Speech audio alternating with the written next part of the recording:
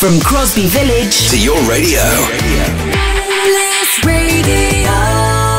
Bliss Radio for a Wednesday morning. We're halfway through the working week. It is the 6th of March, uh, 2019. It's Roy Basnett taking you through until midday. Now, we've got a, a special show, you could say, today, because I, I, I feel as though I'm in the presence of greatness, to be honest with you. Oh, The man, a man who is not, no, I'm going to say, not only a radio legend, but he, he's, he's a Scouse legend as well. He's part of the DNA of this city, and I get the pleasure of speaking with him this morning. It's Mr. Billy Butler. Good morning, Billy. Thank you, Roy. Yeah, happy with that as an introduction there? Because I, I managed to write, I managed to read it just the way you wrote it. Yeah, the snag is, Roy, you peaked too early. There's nothing left now.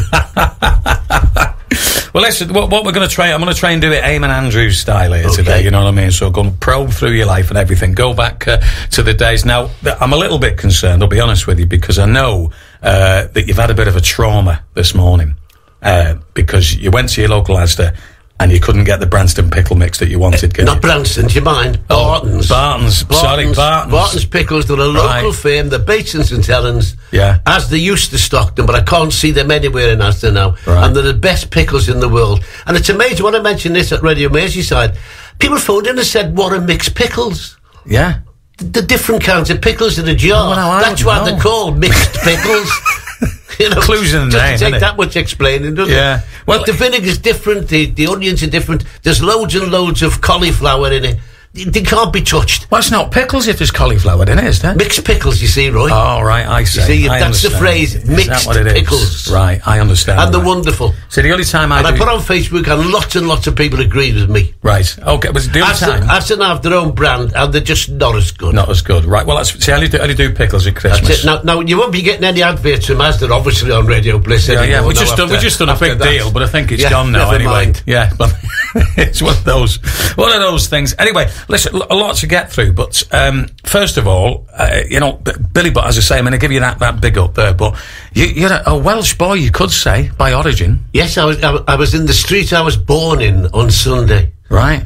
Yes. You're born in the house. S- Salem Street in in in uh, Amlwch in Anglesey. Salem Street. Salem Street. That sounds bad, doesn't it? Salem Street. You didn't have a lot on the back of it, did you? And, uh, Salem's lot. Uh, my mum was evacuated in, in 1941 Right. to um, Salem, Right. and I was born there. I was only there for about, in, sorry, not Salem, in Amlwch. I was only there for about six or seven months. It was a farm, apparently. Right. I don't remember much at the time, actually, because I was in my cot fast asleep most of Oh, the yeah, time. right. Okay, so obviously it was a question of we're going back to the home place when It was. when the war was all, over and all that kind of I stuff. tell you what was incredible. Um, the- m- m- my brother-in-law Graham, who's with me, and who's, who's, who's articulate in everything to do with equipment and internet and everything. He went on um, Alexa Oh yeah. and he said, "Alexa, name any famous people born in Amlwch." And my name came Did on. it? Yeah. Blimey. Billy Butler. Yeah, yeah. No, no, the, the, the guy from um, from from um, uh, the, the guy from Spartacus, the original Spartacus on the, no, on the television. Oh, right, okay. On the, the original Spartacus on the television, the finest TV series ever, Spartacus. Right. And uh, he was born there as well. Right.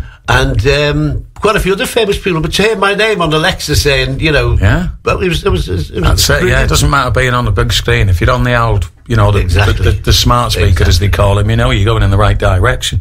Well, obviously, um, you know, that was a situation that, you know, you would evacuate. Are you all right, Roy? You sound overawed. Just, just, I- come I am. down, just come down. I am, but Come that's because I've, no, I've, I've been Just- stuck in a traffic just, jam. Just, just treat me as nearly your equal. You have to do two hours. Anyway, uh, so, yeah, th- that situation. So you, you come back up to Liverpool. So we, how old would you have been when you were back on the streets? I thought it had gone cloudy there, but it wasn't. Sean had walked in the studio.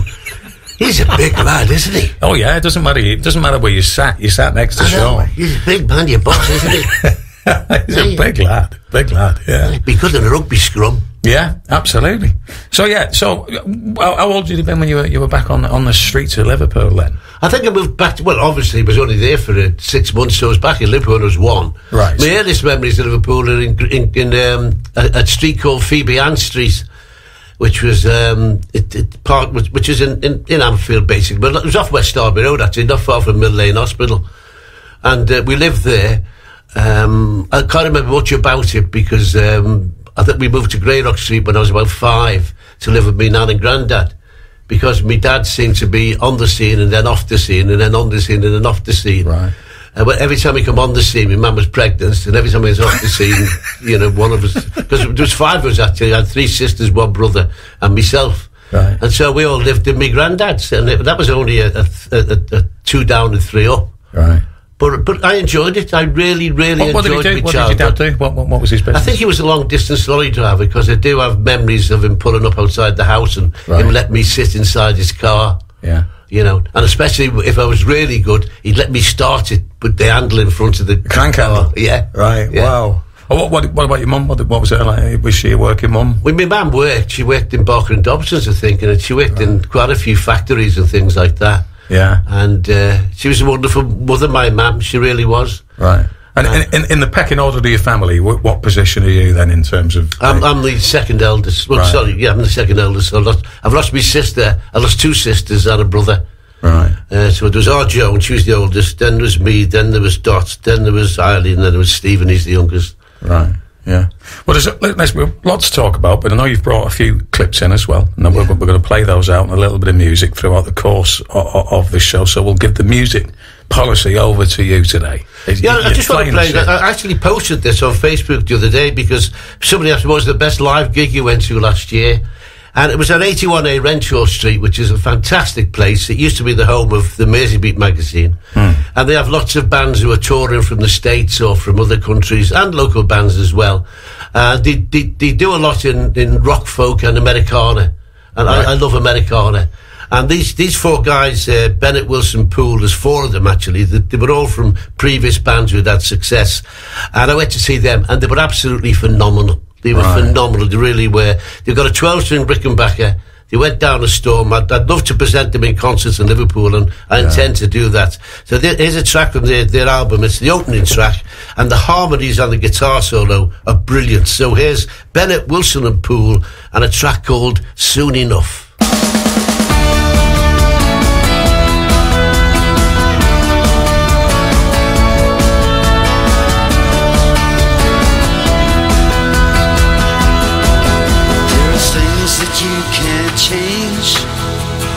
Wisdom's not easily won.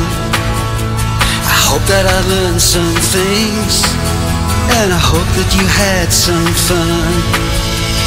Life is a mystery train, you never know when it's arrived.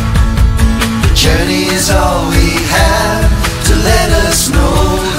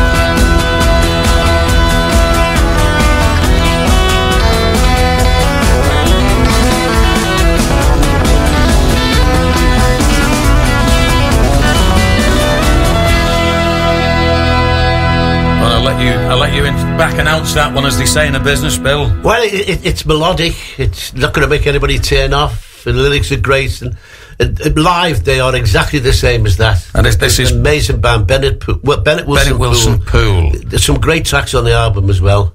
Yeah. How did you, how did you first come across these guys? Well, because they were on, uh, on 81A Renshaw Street, and Right. so the, the guy, the boss there, arranged for to come in and do a live session for me. Right. It's brilliant. Yeah. Well, tell us about this. I, I, hear it come up all the time, and I try to keep myself abreast of what's going on in the live scene and stuff around the city and that. But I'm, I don't think I've ever been to 81 A Renshaw Street. So can you tell us a bit about it? Well, it, it's where they used to publish Mersey Beats. Upstairs is where they used to publish Mersey Beat many Right. years ago. So you can feel the the history of, of Mersey because probably th- next to the cavern, that's the place the Beatles went into most. Most, yeah. You know, because they were always in there to try and get a publicity. And John used to write for Mersey Beats, of course. Right. And um, Bill Harry was was the boss. He was upstairs uh, with Virginia, his wife, and they did the whole Britain. Because to me, there are there, there's certain important essentials about Mersey Beat, and Mersey Beat would never have existed without Mersey Beat magazine, Right. courtesy of Bill Harry, Well, and it would never have existed without Bob Wooler. Right.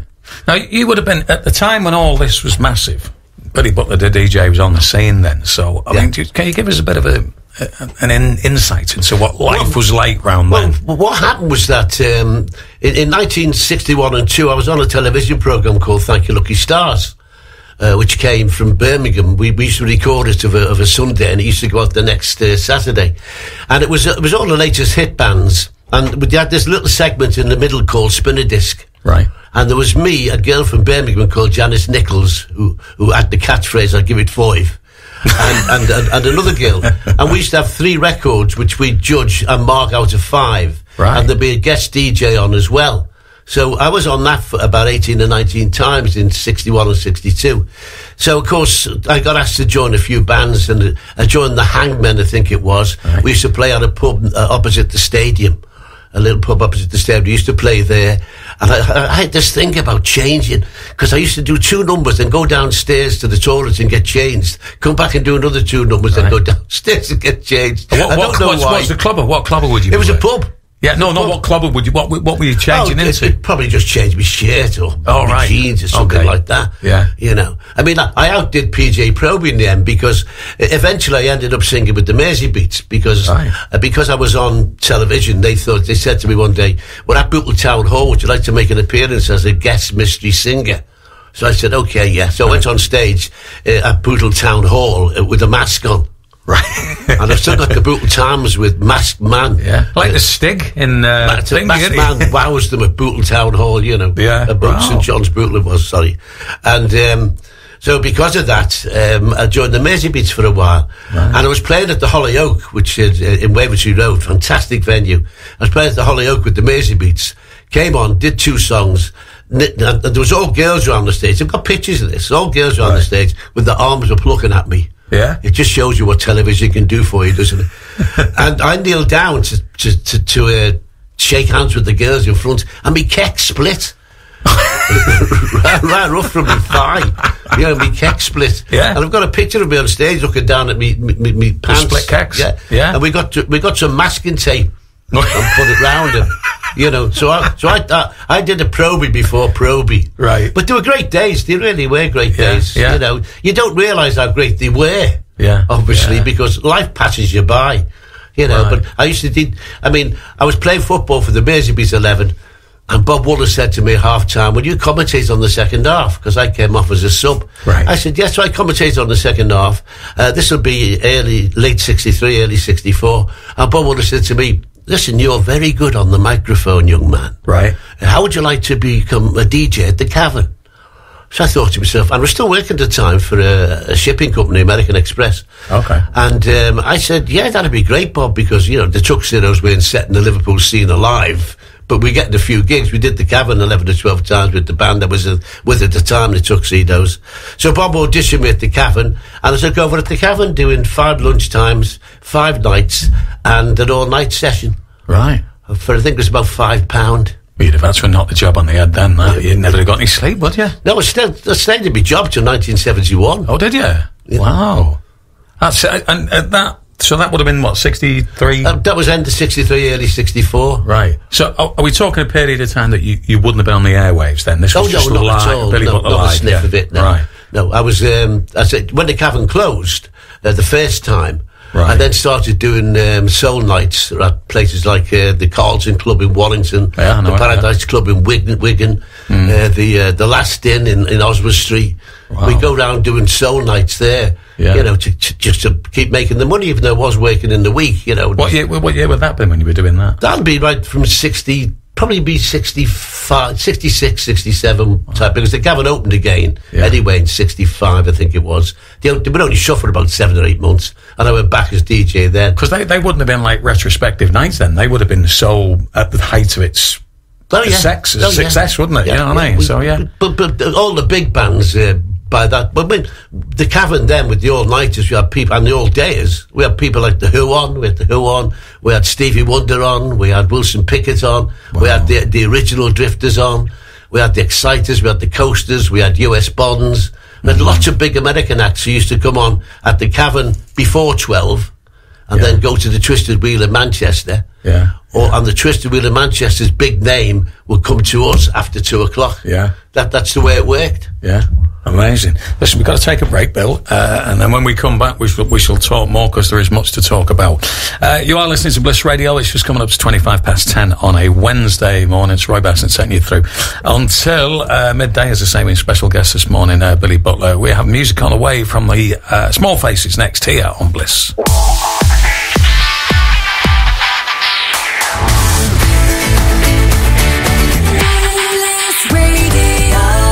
From Crosby Village To your radio. Radio.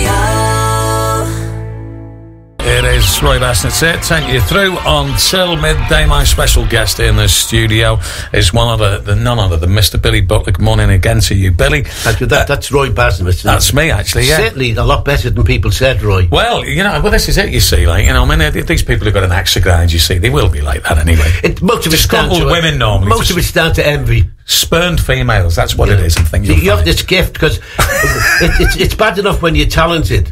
You Right, know, yeah. you've got a lot of envy on it, but when you're good looking and talented, Yeah, you yeah. that, that's, that's, that never occurred to me before, that Bill. To be honest with you, but I appreciate that. Live with it, live I'll with live it. with it. I'll get used to it. Now then, uh, if you would like to uh, get a message through to Bill this morning, people are already doing that. Then feel free to use our email, which is studio at blissradio.co.uk. Studio at blissradio.co.uk. Uh, there is a telephone number if you want to leave a message with. Um, Emma, 0151 363 3028, option 2. Uh, oh no, is it option 2? i don't anyway, just ring that number, you'll get through. 0151 363 3028. Now, here's one that's come through on, uh, on the email, Billy, and it's from Billy Wilson, a fellow Bill. And he says, Great hearing, the legend that is Roy. But no, it isn't. He said, Great hearing, the, the legend that is Billy Butler on the radio this morning. Never laughed so much at his home eye plums with the potty potatoes woman. Hope you can play that. Now, I'm, I, I've never heard this, or at least I might have heard it at the time. But I mean, you got I'm only 35, you see, Bill. Um, but no, I, I, the it's it's synonymous with hold your plums, and we, we need to talk about that. But give us a bit of background about this particular clip that I'm about to play for Billy. Well, th- this particular clip, we started on your plums around about 1984, and th- I think this is one of the earliest clips from it because we would be, we haven't actually got a studio audience, Right. Because once Old Your Plums got going, we moved to a bigger studio and invited people to sit. That's while we did the Yeah, show yeah, live because yeah. it was a live show, and this was actually done in the days when there was no audience, which is probably why you can't hear massive laughter as there is in nearly all the Hold Your Plum stuff. Right. And uh, I forget the name of the lady, but she, she became just known to all of her friends as the Potato Woman. Okay, to round off the very best of Hold Your Plums, here she is, the legendary lady who was asked what Walter Raleigh brought back to Great Britain. The answer we were looking for was potatoes, but we never expected what we were gonna get. Your question is on general knowledge. A general knowledge question for you. Right. Say, Walter Raleigh is credited with introducing tobacco to this country. Did you know that? Yes, I did. I also introduced something else. What was it, Sir Walter Raleigh? Bowls. Thank you very much. Well, Hey, that's very nice, isn't it, Wally? Eh? Just because you don't know the answer, there's no need to be obscene. no, it was something that you wrote along the floor. What? That was Sir Francis Drake, you fool. How was it? well, I knew it was wrong then. Was it a Francis Drake? What? Yeah. Was it the fellow who, who who put his cloak in front of the woman for her to walk on? Oh, that that was that was Raleigh, wasn't That was? Walter Raleigh, yeah. Over the pool. He got his head cut off in the end, didn't he? Did he? Yeah, he did. He got executed in the end, if I'm not mistaken. Gonna get a fag in his mouth, though. What else did he bring? Uh, I don't know. You'll have to give me a clue. Sir Bill. Walter Raleigh, what else did he bring? If she says a bike, Wally, I'll kill her. I, I don't know. Well, I thought it was the in with the bowels. right. Okay, f- first half of the word. Think of your husband's stomach. First syllable, your husband's stomach. I'm just thinking about it. I've got him on anxiety. Well, uh, well, you've got him on a dart because of this. What kind of a belly's he got? Uh, oh, it's not that big. Let's see. Uh, I think his husband's stomach. Oh, God. Big? No, no, no. The first syllable of the word. What you call it when you get a little round belly? A pop. That's it. What was you saying? A pouch. A punch. Punch. It's a kangaroo bill. That's a pouch. well, you got it right first time. A pants. Is he? Is he? Is it stuff his hands that kill me? Keep it quiet, love. You'll never have any mates. well, I don't know, Bill. Might have a few. What you cooking then? Oh, a pan. Now, have you ever heard of a fella with a pan stomach? No. A pan belly? no. What you cook? You cooking a pan? Okay, I know you're cooking a pan. I know that, but you can't have a pan belly, can you? No. Um. Oh, what? Uh, What you what you call those things you used to put in your knee and whip? a top. Yes, think of it backwards. A pot. Yes, Yeah. wonderful. So we got pot. Right, now the next one's rather difficult. it's the number after seven. Told you all. Told you that was difficult, didn't I, eh? we'll give you time to think, girl. A pot eight. Pot eight, yes. And at the end of your feet. My slippers. What's at the end of your feet? My slippers.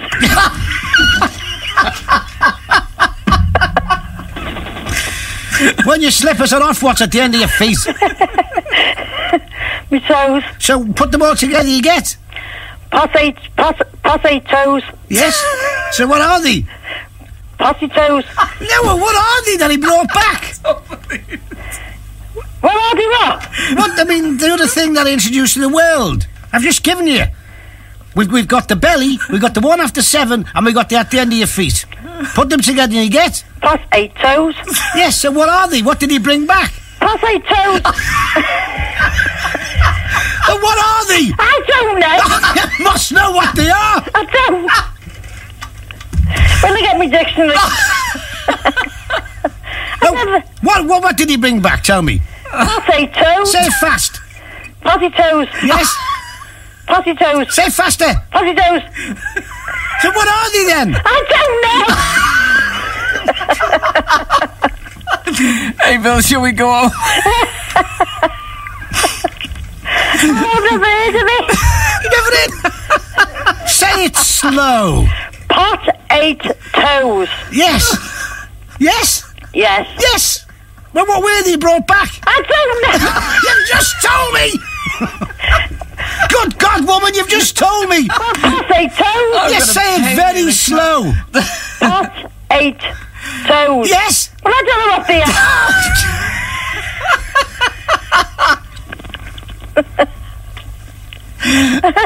Give her a clue, Bill. How can I give her a clue? She's got it. What are you asking me what they are? Because I want you to tell me what they are. Potatoes. Well, I don't know. Say it very slow. Pot. Yes? Eight. Toes. Yes. Now, what are they? I don't know. you keep saying that, I don't know. Oh. I've never heard the word. Britain's brightest radio show, Hold Your Plums. Radio Mersey. There you go, eh? Uh, I've got to say, uh, Bill, the, the most obvious question that comes to mind when you hear some of the contestants you had on that show is, where did you get them from, Bill? Was Newsham still taking inmates at the time there or something like that. They were just taken from the phone booth. It's as simple as that. yeah. As they came in, we took them. And what a lot of people don't know, uh, despite, I mean, we've had uh, we've had uh, eight volumes of Old Your Plums out, and what people don't realise is when I did, we did the show u- usually live. Now and then we recorded it. Yeah. But I never knew what the question was, Right. so I couldn't prepare any. Any Wally used to clues. do, Wally used to put the questions Wally used to give he? me the question. He put it in front of me when the he'd say line one, Mary, and he'd give me the question. So I couldn't prepare any clues or anything. It all had to be off the top of your head. Right.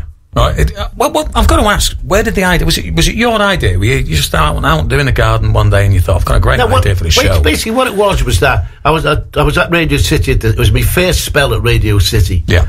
And um, Major said uh, got me to come back, and I was doing a show on City called Heads and Tails uh, of a Sunday afternoon, the same Yeah. time Old Pum was on. And um, the idea on Heads and Tails was I'd ask somebody a question. If they got it right, you'd hear.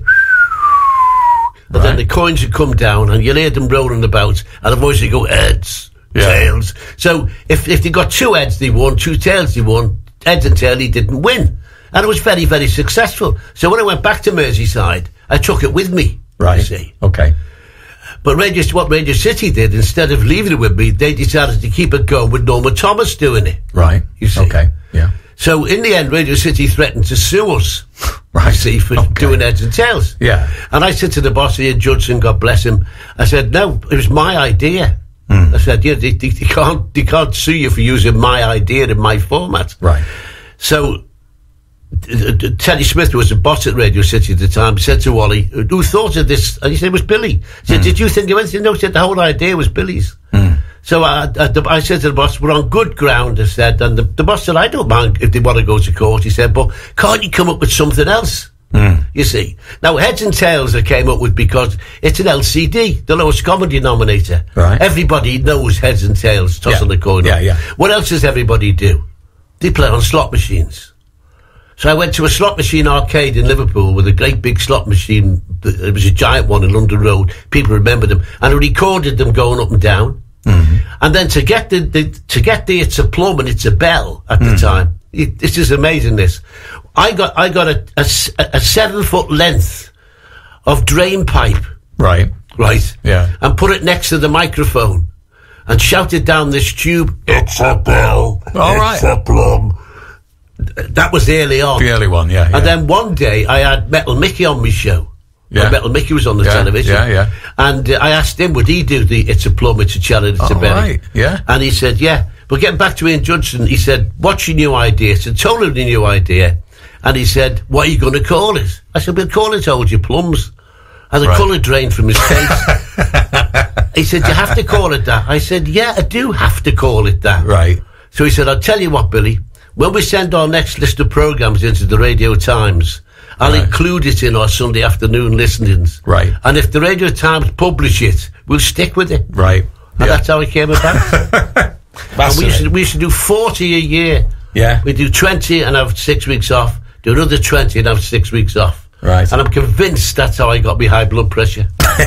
Probably the case. Well, it, fortunately, you'd have a lot of music that you like, which calms you down. Now, we're going to be talking more uh, about Billy's time, um, you know, doing Hold Your Plums, and we've got some more clips to play.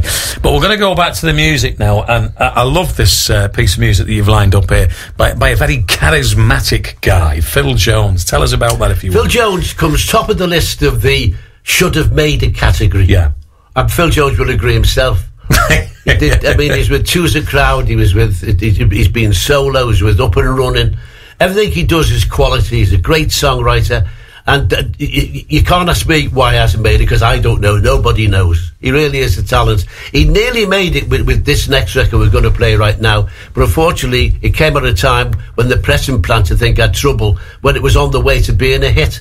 And this is Phil and Alec from Up and Running and uh, Johnny and Marie.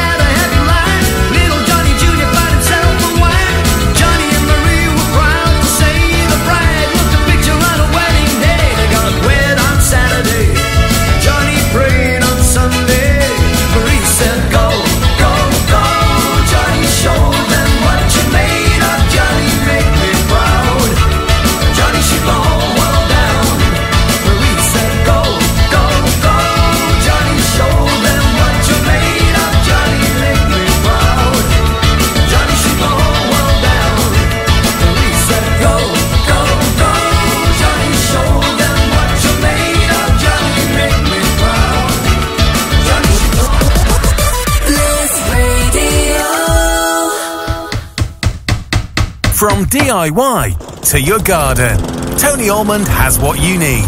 Open seven days a week in store and online. Tony Almond has everything you want from paint to pots and free local delivery. Find them today on South Road, Waterloo or visit tonyalmond.co.uk. At Willow Tyres Merseyview, we've always given great value on tyres, exhausts, and brakes. And now, thanks to our new mobile service, we can come to you any time of the day. So, whether it's tyres, exhausts, or brakes, just call Liverpool 931 3104 for your next appointment with Willow Tyres. The Roy Basnett Talk Show. Weekdays from midday. On Bliss Radio.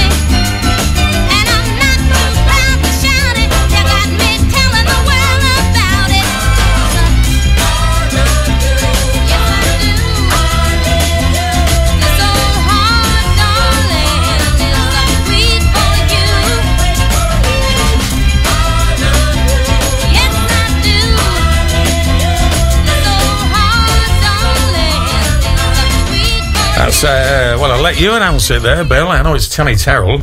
Tommy Terrell, actually. Tommy Oh, Terrell. I got this- I got the Great cover of the Marvin Gaye and herself classic. That's what Heart of Mine. Tommy Terrell did some great stuff solo. Yeah. Of yeah. course, unless you play it, nobody knows it. So Exactly. we yeah. try and play it. Do you know, this is the thing. I love cover versions. It's Yeah. as simple as that. A cover version which which pays tribute to the original without copying it totally. Right. I love that. Yeah. See, see that this is what quite envious of, you know, the, the concerts that you used to put on. It's usually the old Oh, yeah. correct term back in the, especially with all these soul acts like stylistics and all of that kind of stuff. 'cause I'm a massive fan of, uh, I mean, I, I like the kind of, you know, the 70s kind of disco scene and what have you, but they must have been a labour of love for you to do those gigs. Oh, yeah, well, but, we used to have at, Radio Merseyside uh, because we had really great managers at the time. And but I used to always say when I first started on radio, I said to myself, "You got to become a face, not a voice." So I used to go out, do fetes, presentations, knock pennies over, right? All that to meet the people who listen to you. I used to have a Christmas do at the Shakespeare once a year, where where I'd invite seven hundred listeners to, to the Shakespeare to a cabaret night, you know. And uh, the Shakespeare were no fools, you see, because I'd say, okay, I'm going to put seven hundred people in your club, and you're going to get a bar open all night. Yeah. So they said, okay, fine, make it free. We take it off, which we did. And so you, you, you you kept contact with your listeners, and the concerts were a way of doing that as well. You know, if there's any big American acts touring, we'd inquire about them and we put them on the Empire or we put them on the floor. Or what we could do, the station was so powerful at one time, Radio Mesa, that what we, we could get something by, it's knowing your listeners. You know, I, I used to put a set of CDs out called The Hits You Couldn't Get each year, which were made up of songs that I'd been playing or the station had been playing that you couldn't get anymore. Yeah. Or songs that the station was playing, which the record shops couldn't be bothered stocking. Right. You know what I mean? And then we'd combine that. So we were putting people like Daniel O'Donnell on at the Empire, Yeah. Joe Longthorne on at the Empire, Brendan Shannon and Breen. We put them in concerts at the Empire, along with the big names like your Frankie Laines, your Johnnie Rays, your Al Martino, your Stylistics, your Drifters, your Platters, you know, all kinds of things like that. It was just a matter of getting the right balance and then putting the show on. Yeah. And we sold out every single one. I always remember the songs because me, me, me dad said, uh, oh, I want to get this song. And uh, Billy said there's this shop in Tuebrook. Yeah, Yeah. that's right. Is it still there? That? It's still there, the Go musical on. box, not the musical, Musical box, box. the musical box. Yeah. Greatest record shop in the history of record shops. You get, get a few things there, couldn't you? and she actually let me behind the counter to have a root once. Yeah. When she Right. said those magic words, why don't you have a look through them yourself, Billy? I thought, thank you, God. I think I spoke to Leslie once and I was on about because we'd, we'd inherited um, some marvellous albums Yeah. and they were like from the musicals, you know, because my, my late uncle was a massive fan of the, of the musicals and he had them in immaculate condition. And I remember Leslie saying, he's got enough, you know what I mean? He's got too many as it is, don't give him any more, you know, so. In fact, listen to one of your adverts before about DIY. Leslie actually wrote a book about my failed attempts at DIY. DIY. Uh, and it was a bestseller. We went all over North Wales and Wirral signing Right. copies of it. And it got so bad that uh, Rapid Hardware actually had a photo of me over the cash desk with a sign underneath, Don't Save This Man. Go rapid hardware, now you're talking. Uh, right, okay, listen, we've got a few mentions to do here, Bill, so if you could start off with that and then I, I, can mention some of these that's coming up on the Yeah, screen. this is Frank Wright. He's Emma's dad. Uh, you can let go of my arm now, Emma. I'm doing it. Frank, all the best to you, mate. You're certainly a man with taste, and thank you for your ears for so many years. Right then, I'll, I'll read these out and then you can react accordingly. Uh, it, I, I'm assuming this fella might be have some mafia connection here because his name's Bill Lombardo. Oh, definitely. Uh, so make sure to get He's this in. ex-don. I'll be sleeping with the fishes otherwise. He says, Billy, can he have a shout out? Nice to hear you on the radio again. So can you mention our Bill there, Billy Lombardo? Uh, Mr. Lombardo, good to make contact with you again. See what our next hit. You know, since we mentioned that there, the screen's gone all wonky, so he, mu- he must have cyber hacked us as well. Well, that's okay. It's not a problem. We come back to the other message. I know people have been messaging in uh, on the email this morning. Studio at Bliss Radio. If you want to join and if you would like to get a message to Billy, then you're more than welcome to do that. Studio at blissradio.co.uk. Now, um, there was another little clip. Uh, such a short clip. If uh, I just, it's gone out of my mind at the moment. Yep. I mean, you, you said to me off air, Roy, where did you get those? Well, you said on it. Yeah, the listeners, yeah. They were ordinary people in the street. What people forget, now you're a pro, you see. What people forget. Matter if you're of a- opinion, I suppose, I know that, yeah. But Sean held that up, telling me he's a pro. you got to realise that the people out there, they come on the radio and they know there's thousands and thousands of people listening. Yeah. And y- your mind goes to pieces. You know, it, it happens that way. And, and that's what happens. You know, you can't say people are thick or nothing like that. It's just that pressure is too much. Right. Yeah. So have you got this one No, lined up? I, I have, but I forgot what the number is, Billy. It's number five. Oh, it's not all there. That's it. Yeah, it's Number just five. coming now anyway. You know That's what it. I mean? See, this is live radio. I know, yeah, This is live and radio. can't you tell? make mistakes on live radio. I know, and I think you we- got a, you got a lot of bosses go, "Oh God, he's made the mistake," but the people at home don't say that. I think they're having a good guess of it at the minute. At the minute things are going up. Hang on. Here we go. So here we go. This is the little clip here. Have a listen to this. Here we go. I'll try again. Oh, it's not playing. Oh, I tell you what, Billy, you've you've jinxed it with the live radio thing here. Now, hang on. Let's try again. Let's It's press this showing button. two forty nine. It's there, isn't isn't it? So let's. Yeah, it's definitely there. Have you, have you got the fader open, right? I've got the fader. Oh, look at him. He's got. I've, it's up, Bill. We'll try it. What? Oh, it's got error. Oh, it's Played on everybody else's Right, this will, have, it's- this will have to go back to second-hand shop now, won't it? This this, CD player. So I'll tell you what we'll do. Uh, we'll have to carry on talking now, Bill, if that's that's okay. what you so uh, yeah, that's what it's all about. And then we shall correct our technical issues.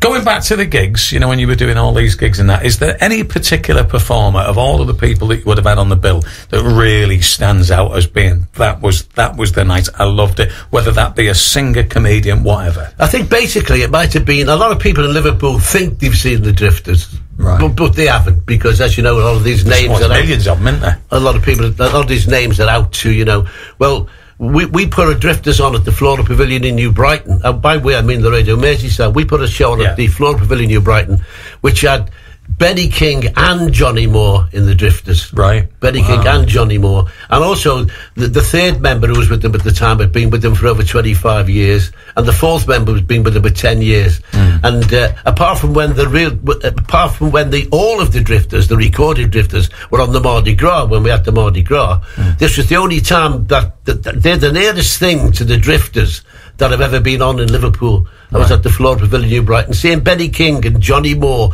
Yeah. the two voices of the drifters on Yeah, stage together. Brilliant. Who would you say? Listen, synonymous with the program, synonymous with Liverpool comedy. If you had to pick the number one comedian of any genre, Well, it's Ken Dodd, isn't it? Ken Dodd. That's yeah, it. Doddy would be up there. But, all right. Well, I mean, Doddy. Yeah, I get that. I understand it. But what about maybe some of the the let? See, for me, my favourite Liverpool comedian. What, certainly one of them was Eddie Flanagan. Eddie Flanagan. Eddie Flanagan, I just found hilarious to watch. And you see, I, I feel as though you can see a bit of Eddie Flanagan, perhaps maybe in John Bishop's act to a certain Yeah. degree. You know, that kind of deadpan scouse You can talk about Scouse comedy legends f- f- forever. Yeah. Mickey Finn. You've mentioned Eddie Flanagan. Mickey Finn, Eddie Flanagan, Jackie Hamilton. Yeah. Uh, Bobby Kay, Eddie Collinson. Yeah, yeah. You know, yeah, there yeah. is uh, Hal, Hal Nolan. You know, Bobby Shack. Yeah. You could still keep reeling them off. And these were, they, there was the comedians who went round the pubs and the clubs and entertained. Hmm. They, they didn't go on stadiums where you ended up watching a screen. Yeah, You know, they were exactly, in your face. Mm. You know, and that, that's another thing I always did when I was at Radio Merseyside. You know, uh, if you get a chance, play a clip. Mm. Because someone out there listening, who's this Eddie Flanagan they keep talking about? Mm. So you you've got the power on radio to show them what Eddie Flanagan was like by playing a clip of Yeah. Eddie Flanagan. Yeah, yeah. You know what I mean? Uh, his, his style was was difficult for radio because Eddie, you've seen him. he, he, there used to be long pauses in Yeah. between his lines. Yeah. You know what I mean? So, so sometimes it, if I'm going to play him on the radio, I have to edit it and drink, bring it closer together. Yeah, yeah. Because he was a very slow What talker. I, I liked about him is that you know he'd tell a joke, but he'd, he'd personalise. He'd make that joke about himself, like you know. Yeah. He said, "Yeah, yeah, I was in the garden there, and fellas there. Yeah, how's Eddie? It's nothing to do with him, is it? You know, just wait, just throw that little bit into it about it, and, and I just love that. the Flymo routine he does absolutely wipes me out. we, we had a big wow at the wedding reception. He said, the wife, he said, she wanted to be on all the photos. Not- that that because it's so Eddie Flanagan. So Eddie that, You know what I mean? Yeah. I know there was another one. I think it might have been Jackie Hamilton when he was going on about. He said, And of course, we, we, mustn't forget to mention Tom O'Connor as well. Yeah. Tom was. Stan Boardman. oh, The, the list Stan is endless, as well, it, you know, there's so many of them, there really is. That one, I'm sure it was a Jackie Hamilton one. He was going. He said, was in a club there. They were causing murder the other night. He said someone's been in and knocked the t- robbed the telly out the lounge. He said it's their own fault. You put it where everyone can see it. I just love, love all that kind of stuff. But anyway, listen. We, we'll what we'll do. We, amazingly, we've managed to get through one hour, so we'll get up to the news and then hopefully I can recalibrate myself here and maybe get a new CD player in in order to play uh, the stuff that we've got coming up. And I do apologise because I've not managed to get round to reading so many messages that have come in on the email today. And once we've corrected that situation, as soon as you said you're a professional, Roy, that was it. It all went out the window. Uh, so I managed to get all that. Hopefully, I managed to get all this sorted out, and then we can acknowledge uh, the people who have been trying to get And, in touch with the show. were just going to see how well Everton did on on, on Sunday. All right. Okay. Right. it's all, it's a all, good uh, draw for us, that, it's- Yeah. Right. We haven't well, had I've the best seen seasons, I've but that was good. it. I've not. All right. Oh, cause the, the Liverpool. game. What am I thinking of anyway? Because my head's in bits. I need. I need a news break to calm down. Uh, right. Okay. You are listening. Can I buy another cup of coffee? Right, okay, it is uh, just coming up to 11 o'clock. This is Bliss Radio News and Sports Headlines on the way next, and then we shall be having more conversation with our guest in the studio today, Mr. Billy Butler. This is This is Bliss Radio. Bliss Radio. Broadcasting from Crosby Village, providing a fresh listen across North Wales. Bliss Radio.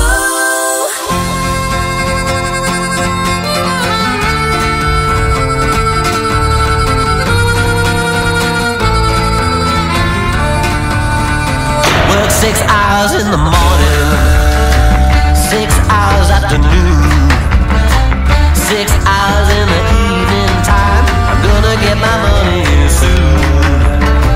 But then the taxman came, the fattest man in town. He said, Pay up, son, or else I'm gonna send you down. There's a hole in my pocket.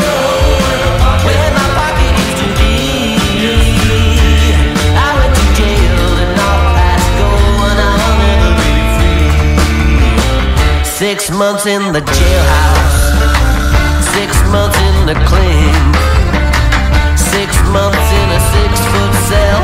I didn't have room to think. I got a six-sided dice and a six-string guitar. And I played and I rolled, but neither ever got me very far.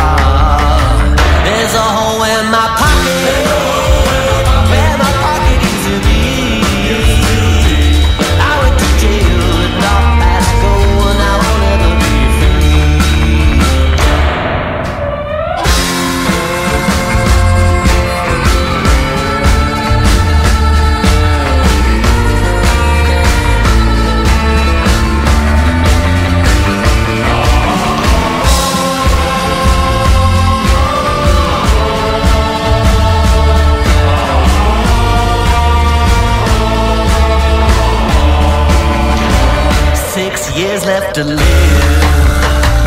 Six years, maybe seven. When they put me six feet deep, I'm never gonna end up in heaven. I'll fall a long way down, disheartened and disheveled. And I'll be six, six, six. I'll be shaking hands with the devil.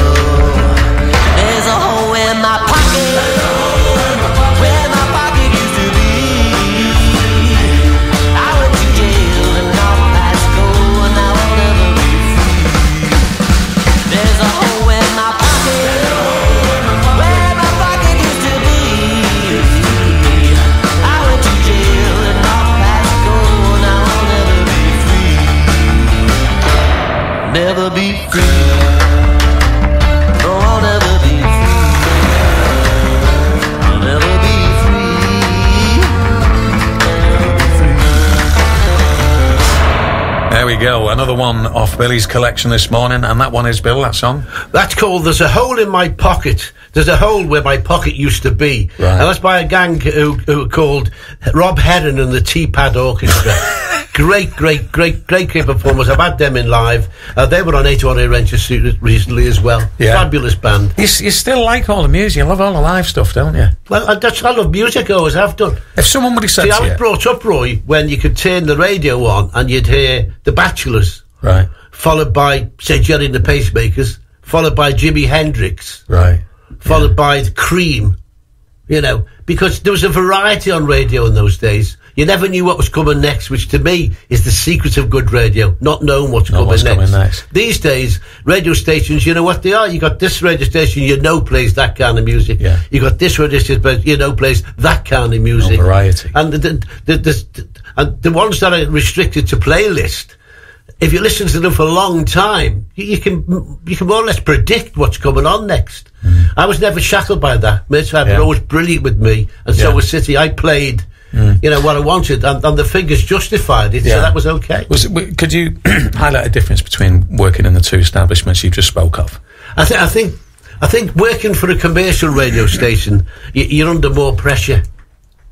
You're Hmm. under more pressure than you from the bosses and from everyone else. And the com- I don't know, but the the the, the camaraderie, the com- camaraderie, Camaraderie, it wasn't yeah. the same as well. When you're working in the BBC, I think it, it, it's it, it's more people believe in the station really. Yeah. And you know, and, and, and th- th- th- they're there to do the very best they can on the BBC. Where I think with commercial stations, it's let's see if I can get let's see if I can get further on than I am. Uh, You, you're the same with the BBC, but what I'm trying to say, it was a different feel. You know, the, the competition I've, I've always thought of the BBC, BBC stations between the, the people who work at the BBC stations is very friendly. The competition between the jocks at commercial stations wasn't as friendly. Right. I mean, I can remember being at Radio City, and I, I gave one of our listeners, I think it was Neil Atkinson, God rest his soul. Yeah, yeah. I gave him an idea for a show, and it worked really well. And another DJ said, "What did you give him that idea for? Why didn't you use it yourself?" Hmm. I said, "Because it, I, I, my program is fine. It's thought to be a good thing for Neil to do." Yeah. And they, they couldn't believe, they couldn't understand why would you give a fellow jockey a good idea? because you're a unit. I mean, if he does well, the station does well. Correct. Yeah, absolutely. No, it's as simple as that. Right then, uh, will you be pleased to know that uh, our gas powered e- gas powered email system started working again? Here. so we have a few. Here's another one. Now, before, uh, excuse me. Uh, before we had the news, we had uh, we had Tony Lombardi, I think it was, or uh, all these names that sound like you know the mafiosa. And there's another one here when you've got Big Joe Lofty from Warbreck, who says, "Amazing to hear Billy back on the airwaves again. Hopefully he likes Bliss and makes a triumphant return. Nice one for having him on, Royce. So yeah, thank you very much indeed uh, for that one. Uh, what else have we got here? As we move down the system, quite a few to get through as it turns out. Uh, John Kendall, I think that is. Uh, big shout out uh, to John in Pre- in Preston. Loving the show today, Roy. Uh, uh, but- butler service. Roy Basnett's got the butler service in. Uh, I can live with that. What else have we got here? I'm just trying to filter through them all here, to be honest with you. Hello to Carl.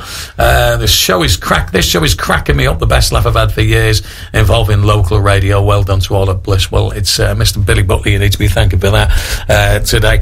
Um, now, here's the thing as well. Uh, we got Billy Butler synonymous with radio, but your lad does the same. I know Lee quite well, and he's been very successful in his chosen music field, all the old dance stuff and that. Chip off the old black block. Are you happy for him to be doing the same as what you did? Well, I, I, I must admit, I had nothing to do with it, really. It, Right. it, it was all of Lee's own volition. He, everything he did, he did himself. Yeah. He's moved through, through from being in the pubs. And if you follow Lee's, um, Facebook page, you'll know what he's gone through. And if ever a man has bared his soul to his listeners, it, it's our Lee. Yeah. You know, he's told everybody about his ups and downs, the mistakes he's made in life. He tries to help other people who've made mistakes. And at the same time, he's a hundred percent believer in his music. He loves his music. Yeah, yeah. Well, he's had, he's not. He had just. He's had a lot of success away from just fronting the music as well, because he's he- he involved in puts on some production of it as well. And uh, you got his Reminisce Festival, which is coming up again very soon, and this keep think, keep fit thing he does. All right, which what's is that? incredible. Yeah. Well, he does a keep fit to. Um, he, he has an hour's keep fit, half an hour, and then a break in half an hour. Right. But it, it's the dance music. All right. And there's a girl on stage doing the moves, and all the people out there follow them. Yeah. He's at the Floral Pavilion. Uh, I know it's the first year this week. This week, it's the first year of it. Um, it- it's keep fit. It's the first year he's done it, and I think they're having a big celebration. I think it's in Walton actually. Right. Yeah. Somebody would have said to you. He does five a week now. Five a week. incredible. Well, he must be fit.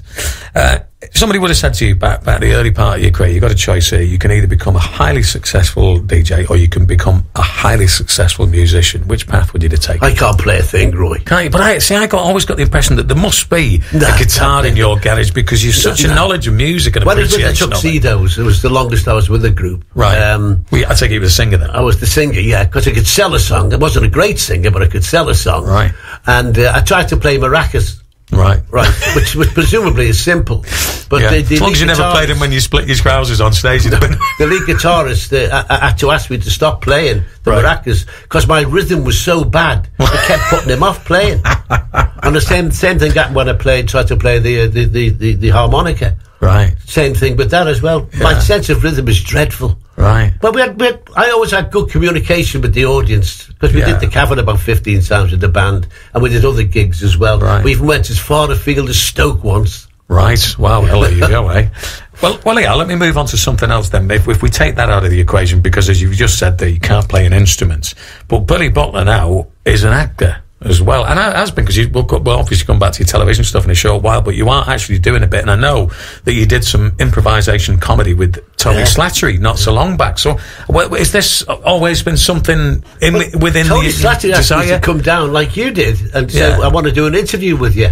Right. Uh, but uh, it, it just ended the other way around. I, I ended up talking to Tony, Right. Because um, he, he wasn't he wasn't in the best of health at the time. Yeah, yeah, Though we did a great improv thing later on, which I joined in with. And I was amazed to see the praise I got on Facebook for the bit Yeah. of improv. Because if you're a scouser, you can do that. Right. You know, you, you throw anything at a scouser, they'll answer you. Yeah. I used to do a thing on, on television called Facts. And I used to have to go around all the cities in, in England asking stupid questions, right? Right.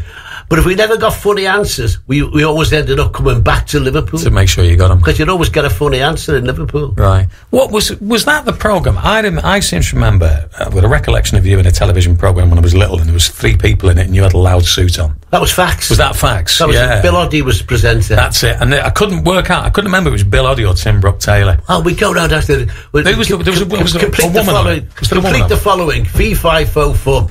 Right. And we give them the mic then. Right. You know, what comes next? Fee fi fo. What comes next? It's amazing many people don't know what came after fee fi fo fum.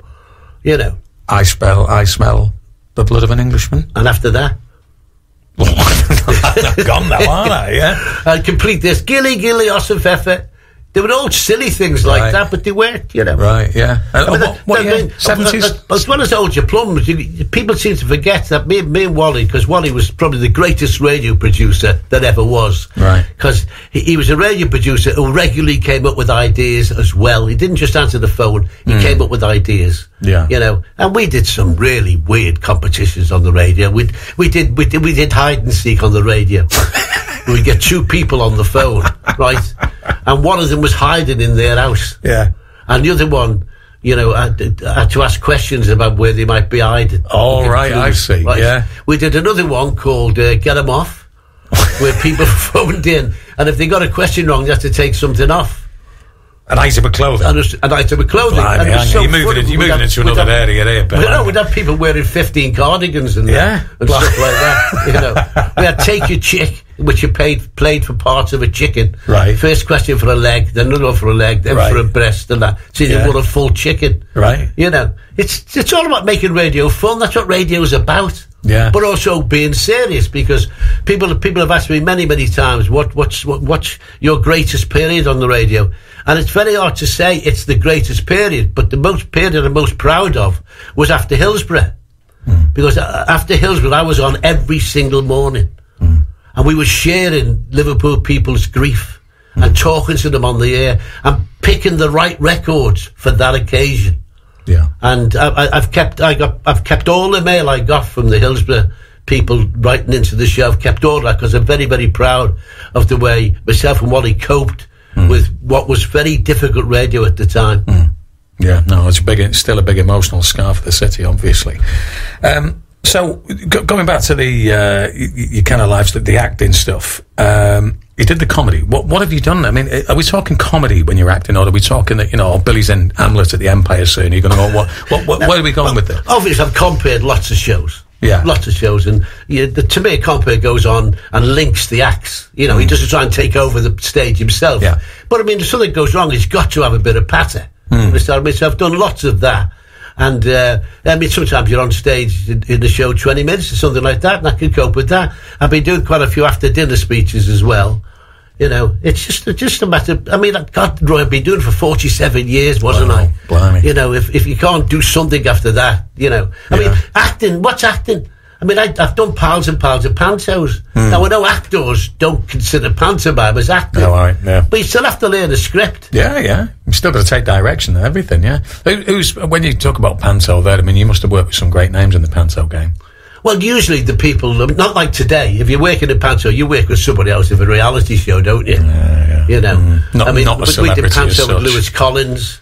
Oh, go on, Lewis Collins. Lewis Collins, Professor. yeah. I'm still. What I've got. I've got a lot of back issue, ex, uh, episodes I'm going to watch on Sky because the Lewis Professor is back Collins, in he the did with. Yeah. The- the- remember the warrior from, uh, from, from the, genera- not the generation, the, the uh, you know, the game on Oh, television. the- yeah, Gladiators. The Gladiators, Yeah, yeah, yeah, yeah, the Warrior yeah. on. Yeah, yeah. So we had Bobby G from um, Bucks Fizz. Yeah.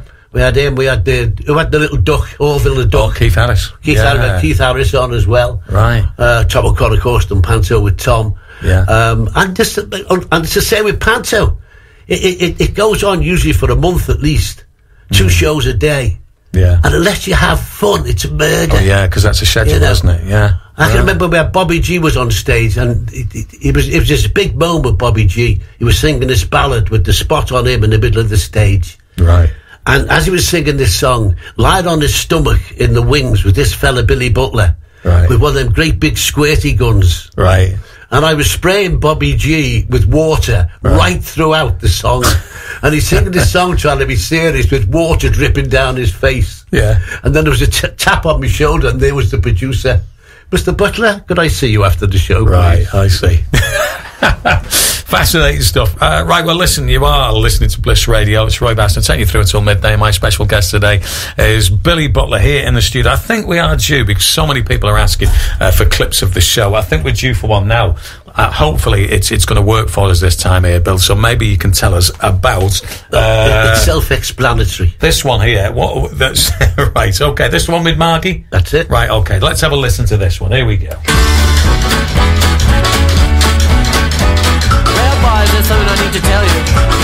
Uh, and of course, that's not Margie. Of course, not unless Show Margie. Yeah, I think no, it is Margie. I think she went on to have a, a hit album after she went on your show, actually, Bill. I think that's what it was. Should we try this one? This might work better this time. Here we go. Britain's brightest radio show, Hold Your Plums. Radio Merseyside. Sometimes to speed things up, we give our callers an easy question. Well, we thought this one was an easy question anyway. Your question is on general knowledge. In which European country do people still drive on the left? God bless us. yeah, what, what country? In which European country do people still drive on the left? Oh, d- you'll have to think on this one, love. It is a bit of a hard one. Putting it off. Chinese. Now listen, love. I'm hopeless at geography, but even I know China's not in Europe. They've got two lots of buttons. Two lots of buttons. What's she talking about? What's buttons got to do with it? I'm not talking about Cinderella. On the uniform. D- No, the drive on the left. She thought he said dress on the left. I don't know what she was talking about. Buttons. No, it's which European country do people still drive on the left? Not dress. I never said dress on the left. Oh, sorry, sorry. Right, question again, um, Sorry, Ben. Margaret. Sorry, love. In which European country do people still drive on the left? Give us a clue, please. It is a hard one, this, love. You're a bit unlucky getting this. I drive a car, that's why I don't know. Don't you? do, do you know much about Europe at all? No. Do, do you know which coun- Geography. Do you know which countries are in Europe? No. Oh. Oh. We, Um, we picked the wrong woman for this question. I think. France, Italy, Hey? Germany. I France, tell you what, listen, Germany. listen, uh, Margaret. Hello, listen, darling. listen. Put your, but leave your phone, right? Yes. Now nip out to your house and have a look at the traffic and see which side of the road they're driving on. All right. And it's a one-way street. You would be! Wouldn't you? Trust us to pick a woman in a one-way street. Well, how far is it? He's Well, how far is it to the main road? He's washing his car. And how far is it? Looking out. Shut up, will you? how far is it to the main road? Oh, oh, oh, Billy, oh, Billy. uh, My knee's killing me. How long will it take you to walk? Hang on. Oh, ten minutes. Oh, listen, can we get Davy Liver to pick her up one and take her to the main road? Yeah. Hey, if there's, where's she live, Bill? Well, uh, we, we, on the way. we one of the girls. We one of the girls give Davy Liver a ring. Yeah. And give him our. Either. It's a taxi. It's a taxi, love. We're going to get send you a taxi. We're going to send you a taxi, love. Now, when he gets onto the. You're not dressed. I couldn't. No, well, so, well get dressed. Now, when you're dressed, Get dressed first, love. you put the phone down, Margaret, and we'll get Davy Liver to ring you. They'll send a taxi to pick Oh, you up. really? And then take you onto the main road. What do you mean? Let me roasties have been. No, it won't take a minute. You, you, you, they'll take it onto the main road and then back to your house, and then you, you, you then can tell us which side of the road the traffic's on. No, shut up. Stop arguing. You came on the programme. You've got to abide by the rules. you put the, put the phone down, Margaret. We we'll need to get her Davy address, Liver- Bill. Well, get, get her address Billy, Billy. and get the, the, the Davy Liver to, to pick it up. All right. Okay. There's a taxi on its way, love. Make sure you got the money ready to pay him, Margaret. So the taxi came and took her out. But did it help her? Find out for yourself. Yeah. Did Davy Livers come for you, Maggie? Oh, do you know what, Billy? I've never had so much fun since the May Blitz.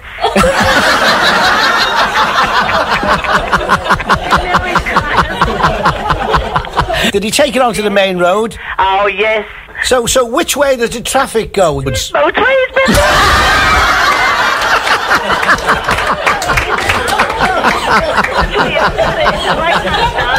Don't tell tell me we've got to send another taxi down for the belly. How much did a taxi cost, Margaret? When you got it. Didn't charge me. He, he got on to his boss. He said, never asked me to pick this woman up. And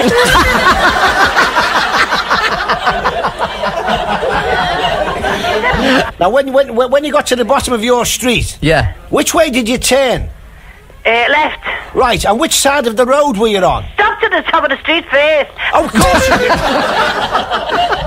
Which side of the road were you on then? Um, I was sitting on his left side. And which side of the road were you driving on? Well, I wasn't driving.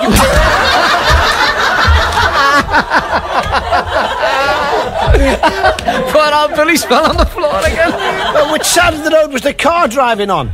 uh, which, just came around the corner. Yeah, yeah. But which side of the road were you on in the car? What? He drived on the left. Right. Now, when you turn round to come back, which side of the road was he on? Where's the mo? Just imagine, just imagine it now. He turns round and he cut. Sitting on the left when he come back. So what's uh, so you're on the left go, so you're on the left going there and you're on the left coming back. So which side of the road did he drive on in Great Britain? Oh, I'll say the left. Yes. so which European city did he drive on the left hand side? Well, France, Italy, Germany. What side were you on? But, oh, I haven't been there. No. No, but but you were driving on you were driving on the Which where were you? Salem Way. No, tell Sailing way. Which country which country were you in? Which country? Yeah. Oh, which country? Yeah. Uh, Liverpool. No, what country's Liverpool in? Billy, I've never been abroad. But which country are you in now? What country are you in now? England. Right. Oh, well, yeah. Well, well, Great Britain. Great. Oh, I'm sorry. Yeah. England. Okay, so which European country did he drive on the left? Uh, Where are you now? where am I now? Yeah. I'm in the back kitchen.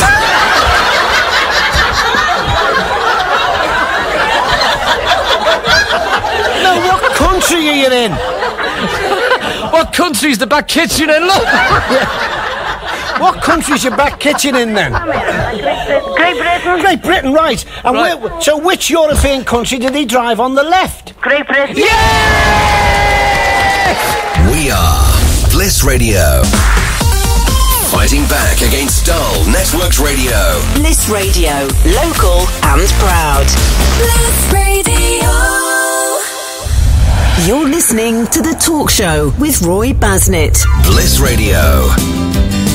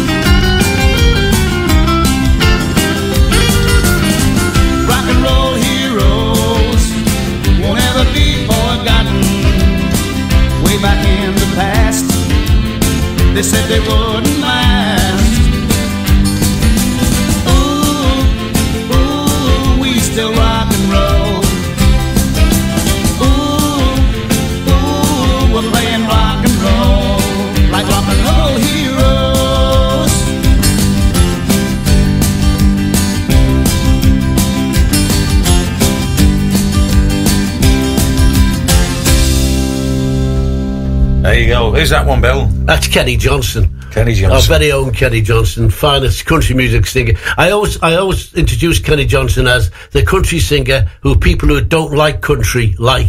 right. Because he just had such a warmth in his voice, Kenny. He was a good, he was a great ambassador for Yeah. Liverpool. He appeared in America on the Grand Ole Opry and everything, you know. Have you, are, you, are you a fan of that musical genre then, the old country and western? Well, I like old music, as I said. Yeah. Never been over to Nashville? Like No, that? I've never got to Nashville. and People are astounded that I've never been there. I've Yeah. Never got there at all. Yeah. Oh, well, there you go. Uh, something to put on your bucket list before uh, before life's over, man. Put that one in there. Well, thank you, Roy. Would you please add God willing after that? I'm multitasking, Bill. You see, that's what it is. There, my mind's not uh, where it perhaps maybe should be. Let's have a look at some of these uh, messages. Um, uh, Charlie says. The airwaves have just got more blissful. Hello to Billy. Nice to hear you again on the airwaves. So thank you very much indeed to Charlie for sending us that one in. Uh, we've got uh, Colin who says this is a great show. Any chance you could spare, stay on for the spare hour till one o'clock? The potato clip was brilliant. Uh, there's another one for us. Um, there's another one here. Let's have a look. George Maximus. Surely that's not his name there, is it? So you've got Roman gladiators listening in now as well. Listen, I'm old, but not that old. Nice to hear, Billy. Could you give me a big shout? I'm in Hoylake today, so George Maximus.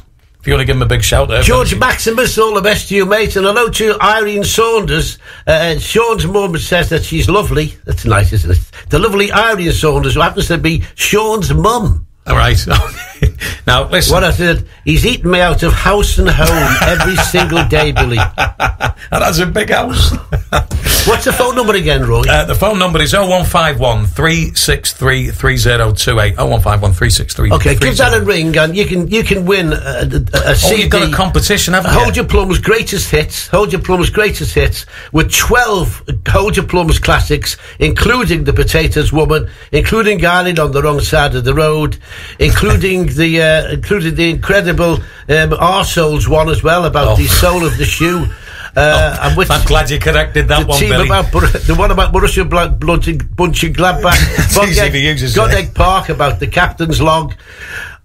12 Hold Your Plums classics on this CD, Right. which works, by the way. Right, okay. but not And the question you have to answer, just give a number a ring, is which famous film star was known as the Duke? Right, which which famous which famous film star was known as the Duke? We did use it once on Hold Your Plums. Oh, give it, oh, I don't know. Give, give us a clue, Bill. Which the hell, Will?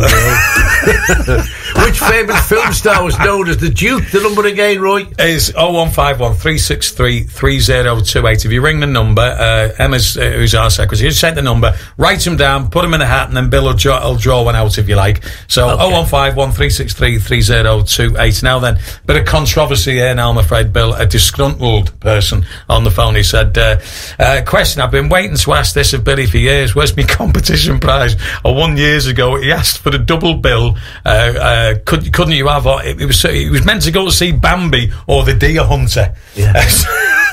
something. Good contrast to that, isn't Yeah, it? So, I think that might have, might have been lost in the post. That one, to be honest with you. Yes, so we, we did send every uh, every Yeah. prize out. In, in the early days, we had a lot of trouble with broken 78 records. That was in the early days. Uh, well, we got this one here from Brenda the Birch, uh, not Brenda the Birch, Brenda Birch. Brenda, Brenda Birch, who's in Preston Brook over there on Conway. Uh, she said, "Best laugh I've had for a while. Would hold your plums, Billy. Great to have you on the show. That's marvelous." I remember, I remember one of our prizes was an autographed Michael Jackson photo. Yeah. And uh, we, we we sent it out, and we had a lot of complaints from the winner because uh, it was autographed by me and Wally. Oh, and as we pointed out, we never said Michael Jackson has autographed it. We said it was an autographed Michael Jackson photo. And the same as the gentleman who won, um, he, he won a, a, a was it. He, he won a, a, was it a seat at Goodison Park? He won something at Goodison Park, and we Right. actually sent him a, a chair. seat. Do you want to get that? That's coming through there if you would.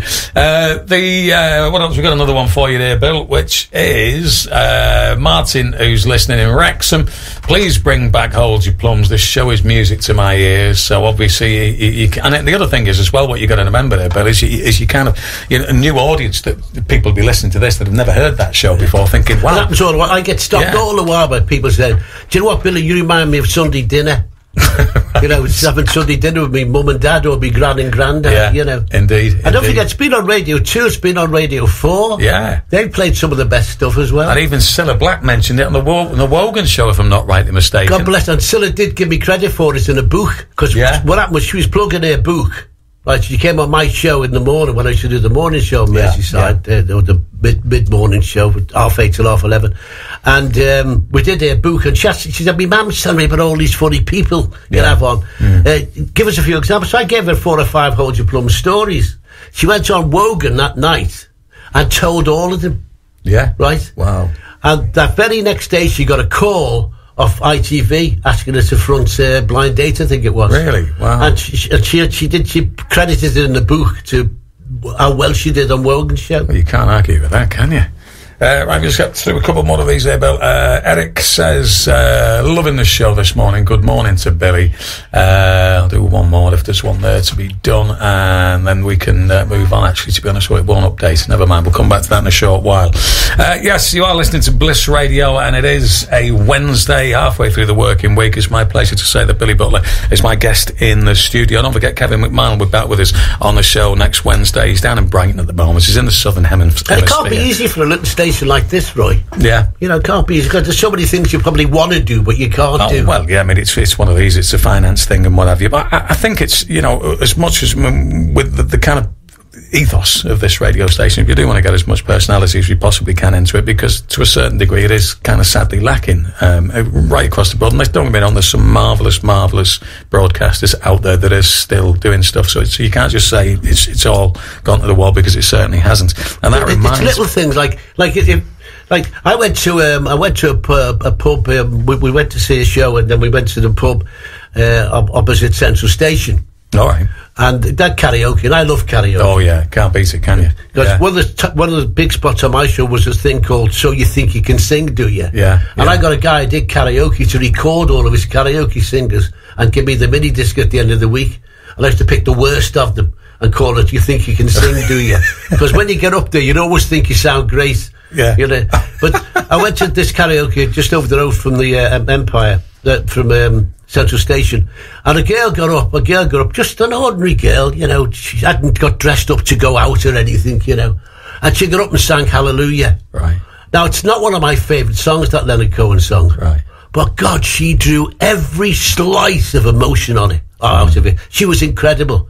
Now, if I'd have been on the radio, I would have had um, I would have had, uh, had it on my show the very next day. Yeah. She was Right. that good. That good, yeah. You know, and it's amazing that that, kind of person does crop up now and then. Yeah. You see, yeah. now if I was on radio now, what I would do today is uh, at twelve o'clock today, uh, Ian Prowse of Amsterdam. Oh, good mate. I know him well. He he, he is he's he's playing a track from his new album. Right. He's playing a track from his new album at twelve o'clock today. Yeah. Be the first time online. first time anybody's heard it. Mm. I'd put it on. Yeah. Isn't that isn't that what you're there for? Oh, he- Little things yeah, like he- that. He's, he's a tremendous talent, is he? And he has been on this show, to, to say the least. But, you know, co- coming back to the karaoke thing, I mean, I, I love it. And there's some great karaoke guys in Liverpool. One of my favourite ones is, you know, uh, is it Cooper's, the one that's you go Yeah. Clayton Square? Little Cooper's. You walk through the door and you're already on the karaoke, you? As soon as you get in there. But I always remember, because I, I did one years ago and there was a bloke, uh, he must, this bloke must have been mid 70s.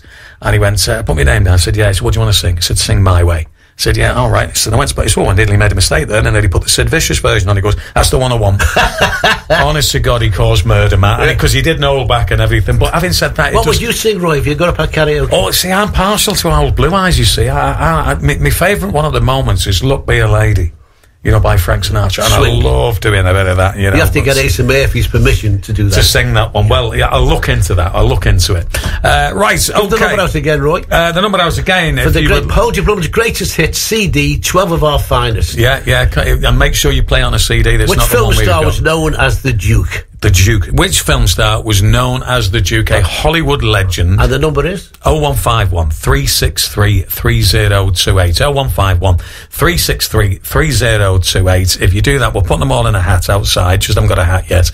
Uh, and then we're going to find out who the winner is because you will win that wonderful CD. Uh, the DVD, is, is it a CD? It's a clips, CD, isn't it? yeah. It's a CD there of all of the funniest moments of, of Billy and Wally's Hold Your Plums.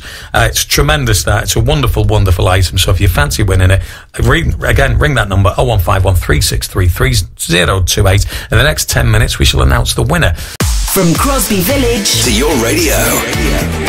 Bliss Radio. Uh, uh, uh, It's, uh, I forgot what it was then. Bliss Radio, yes, that's it on a Wednesday. Uh, it's Roy Basnett here. My guest in the studio is, is Billy Butler. Now, here's the thing, Bill.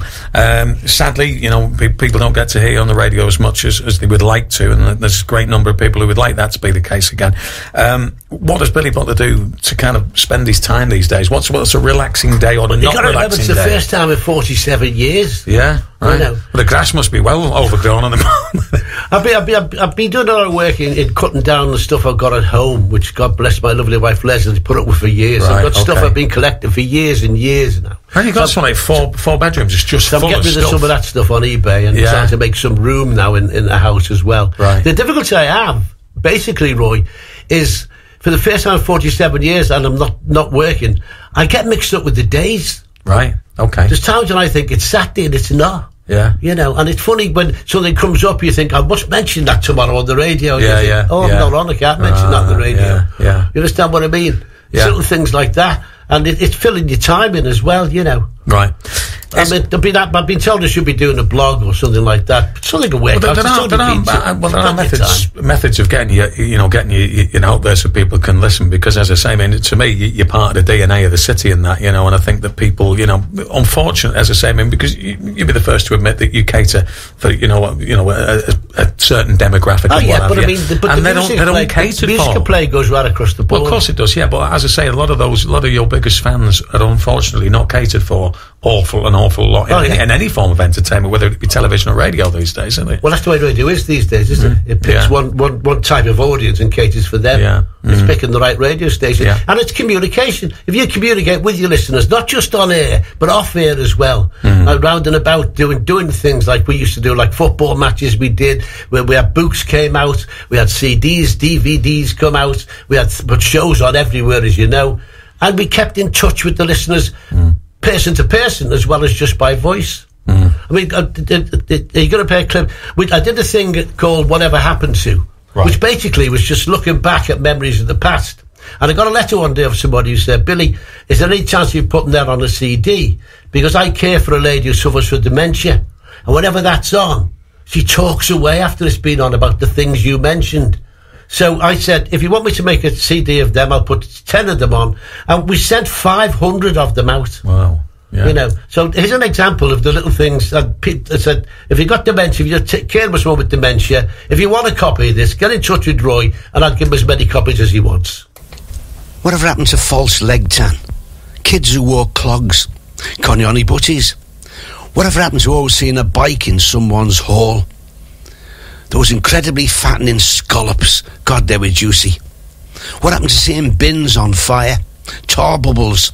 Gentian violet on scabs? Whatever happened to swapping Yankee comics with your mates and making sure every page was there? Whatever happened to fly catchers hanging in the kitchen and wobbling back and forward in front of the mantel and frightening you? Whatever happened to tin can winter warmers, great big queues outside the pictures, bike tyres on lampposts? Whatever happened to going to C&A modes after weeks of saving up, you'd have five pound?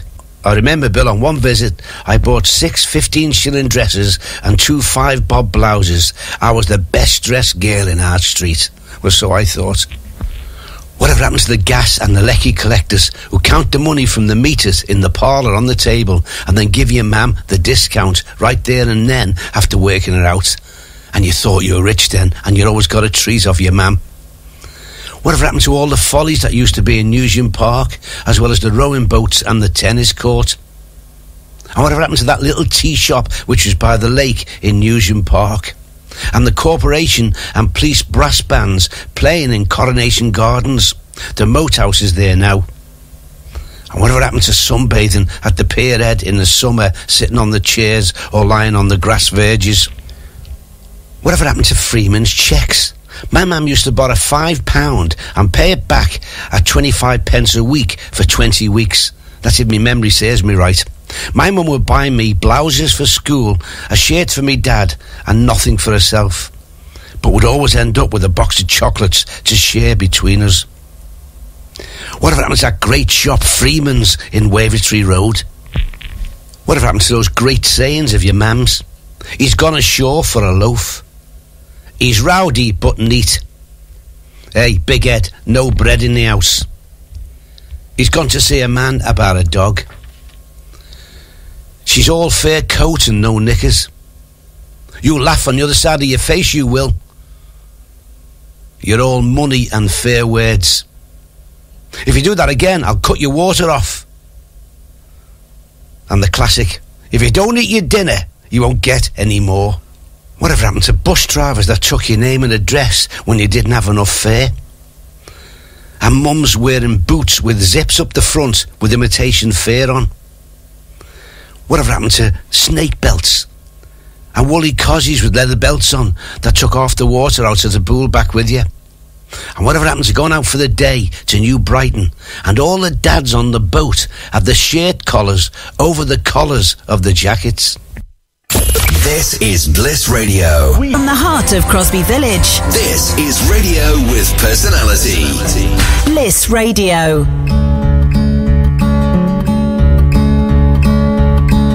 I wish I could bite my tongue, fall asleep, no damage done.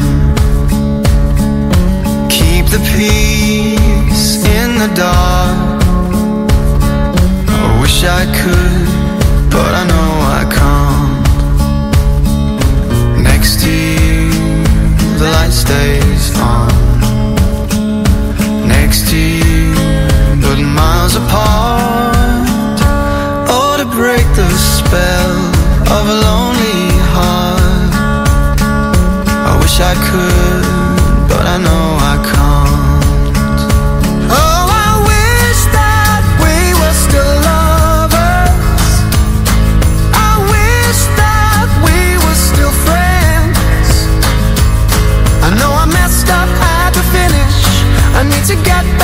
The start.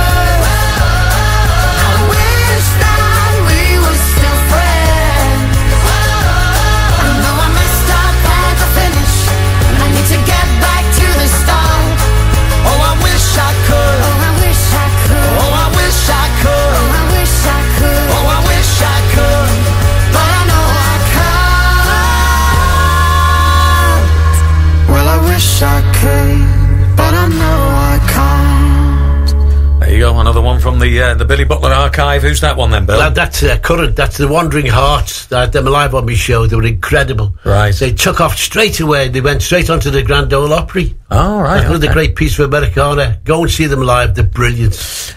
Speaking of which, you know, you're talking about shows and stuff like that. What, what have you got coming up on the live circuit? I know you're on at the Brindley and they're not too yeah, distant, we're on the? Brindley. We, we always do the Brindley twice a year. I'm at the Floral Pavilion uh, uh, as well. This time, but this time we were combining Hold Your Plums with the cabaret. You're gonna do it live? So we've got the stylistics and four acts on, and we're also playing some of the Hold Your Plums clips in between as well. Oh, right. We tried it once at the Brindley, and it really worked. Yeah, yeah, and it's a great, it's a great facility in that, and it is. A, that's a marvelous show. So stylistics, marvelous. I, might have to come all, along to that one. but I'm a massive Just let me of the this: I did an after dinner speech at Merchant Taylor's School recently. Right. You know, and, all the teachers and pupils were there. You know, Hmm. and um, you know when you're self-conscious when you're walking and everybody is in evening dress or something Oh, like right, that. yeah. I was the only one. I had to pull a polo neck sweater on because the back in now. and I'm sitting at the table, and uh, the headmaster says to me, um, "Have you got a pen, Mister Butler?" I said, "Yeah, certainly." I thought he wants me autograph. Right. He said, "Write 500 times. I must not forget my tie." a headmaster with a sense of humour. Isn't that great? uh, you don't come across them every day. Right then, Emma, have you got a winner for us of the Hold Your Plums CD? Oh, I'll put your mic up. That would help, wouldn't it? Yes, thanks very much for all your entries this morning. It's been overwhelming. But the winner, well, what's the answer first of all, Billy, to Uh, the question? Well, we need the question, don't we? So the question was, Yes, Which famous film star was known as the Duke? yeah. And it was, of course, John Wayne, wasn't That's it? right, uh, yes. Well, Gina is our winner and she's from Walton. So well done to you, Gina. Yeah. Is that she's from Walton or she's in Walton? She's from Walton. Right, okay. Now, we, we'll be sending you the copy of that CD via Bliss in the post. It will be cash on delivery. Right. oh, that's wonderful. Well, that, that'll, we'll sort that out anyway. You, you can package it up and you can get yeah, that. I'll be in touch with you soon, Gina. Yeah. Uh, anyway, Bill, we are we are rapidly running out of time, unfortunately, in that. But uh, let, let's just have a little look at some of the things, abiding memories of your time on radio. Which, as I say, you know, hopefully, you know, we, we will get to hear more of you in the not too distant future than that. But if there was one thing, regardless of what its nature is, that sticks out for you on radio, what would it be? It's hard to say after 47 years and so many different incidents. You Yeah. know. Uh, one of my high spots was interviewing the Lone Ranger. Yeah. I interviewed the Lone Ranger. And it, it, this was in the days before um, we kept everything we recorded. Right. And I phoned the Lone Ranger in California. Right. So I phoned him up and I was saying to Ollie, can't believe it, I'm speaking to my childhood hero here. Right, the- okay. The Lone Ranger, you know. So I dialed in and went, drr, drr, drr, drr, drr, drr, and then, Hi there, this is Coyote Pete. I'm the Ranger's sidekick. The Ranger's not available at the moment. Would you leave a message after this gunshot? that's, that's what I always wished I'd recorded, but we Yeah. weren't doing that at the oh, time. Oh, you, think about it, I mean? stuff that you must have had years ago. Have we that have, have you- a Batman on? The, the, Adam the West? television Batman No, West. I- he, I- was, he was very, very funny. Very Oh, yeah. funny indeed. Do you know? I, I think in order to play that character as funny as it was, you have to be a marvelous actor to yeah. play it like that. And Adam West was amazing. Oh, I'm I'm envious of that because he's no longer with us, of course. Uh, but yeah, no, that's that's incredible. That.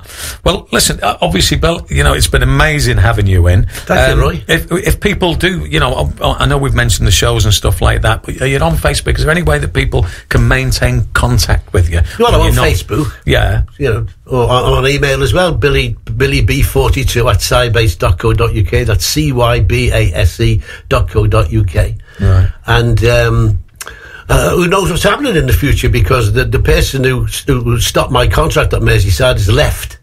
so there's a new boss starting at Merseyside soon, and who knows what they'll think. Yeah, you have to put your demo tape in, Bill. That's a good idea. I'll do one here as soon as I finish. That's probably a good idea. Well, listen, it's been amazing, Bill. Thank you so much for coming And in. Sean, he's done. He, he did five hours this morning. I know, yeah. Not, not, not a wrinkle on his brow. Well, there you are, you see. You, you can handle it. Uh, right, so it is coming up towards midday. Thanks for everybody who's joined in. I know there's a few mentions we just couldn't get round to getting out because there was so much to do in the studio here with Bill. But obviously, uh, we appreciate your time for getting in touch with us. Uh, thanks for once again, Bill. Uh, it's Thank you, up, Roy. Coming up to midday. Try and, get on, get, get- try and get on the time next time. Yeah. We can. we go. From Crosby Village To your radio. Bliss Radio.